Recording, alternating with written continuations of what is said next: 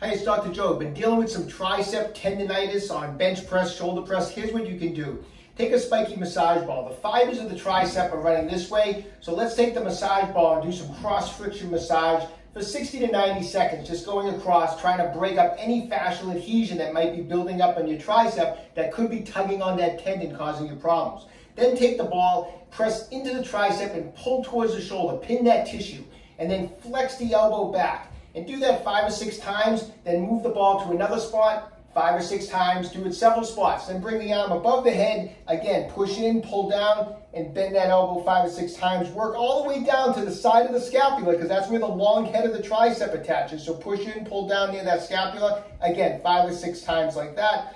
It's gonna loosen up the adhesions, it's gonna stop the tendonitis, all is gonna be good in the world. Stay young, train hard.